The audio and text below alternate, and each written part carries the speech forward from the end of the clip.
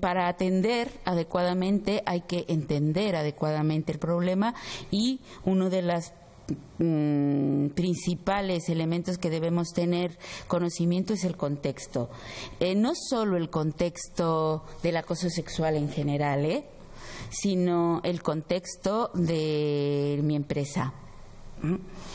Eh, y ahora lo vamos a ver, ¿no? Para mí el tema de una intervención eficiente debe contemplar la atención, la comprensión, sobre todo el, el contexto, lo que llamamos el ambiente organizacional para ver qué, qué, hay allí que haya permitido surgir el acoso, porque si empezamos a abordar este tema como la empresa es muy guay y de repente, quién sabe por qué, ha aparecido una situación de acoso, vamos a empezar mal.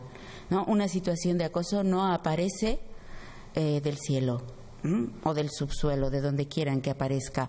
Hay situaciones y condiciones organizacionales que permiten que emerjan ciertas conductas y precisamente por estar involucradas e involucrados en la empresa vamos a normalizar muchísimo más que cuando nos ven desde fuera.